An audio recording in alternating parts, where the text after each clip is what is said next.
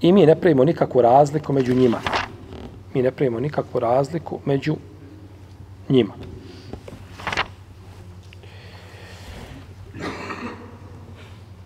Ne pravimo razliku među njima u smislu da su oni svi poslanici ili vjerovjesnici, da su dostavili svojim narodima ono što trebaju dostaviti i da su prenijeli poslanicu na najpotpuniji način, u tom smislu nema razlike među poslanicima. Poslanici svi isti. I nije dozvoljeno čovjeku da, jel tako, a, jednog poslanika odlikuje na drugim. Jeste, ovaj poslanik dostavio, ali nije to bilo baš ono kako je trebalo da bude. Nemoguće. Svi su poslanici, jer je uzvišen Allah odabrao poslanika, njegov odabir i on ga pripremio za tu misiju.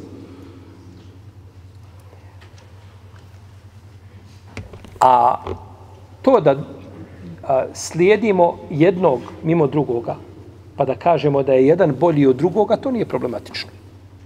Pa mi slijedimo poslanika Muhameda, sa osam ne slijedimo vjerozakonike ostali poslanika.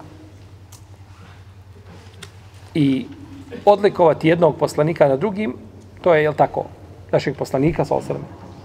Pa posle njega dođe Ibrahim, a.s. Pa Musa, pa Isa,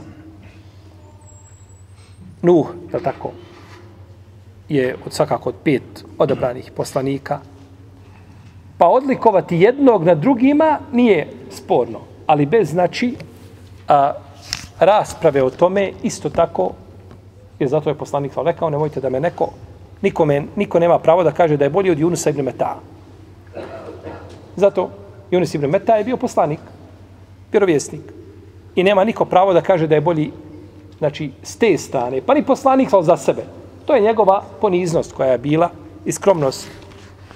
A definitivno je naš poslanik, sal sam najbolji, oko toga nije bilo posebno razilaženja do 10. hiđarskog stoljeća, pa su pokušali neki da ipak kažu kako Ibrahim a.s. bolji od našeg poslanika, sal sam Međutim, o tome su napisane onda dijela, odgovorilo se i ta su vrata zatvorena, pa kako je prije toga bio konsensus, tako i nakon toga konsensus da je naš poslanik Muhammed s.a.v. najbolji, najbolji vjerojesnik.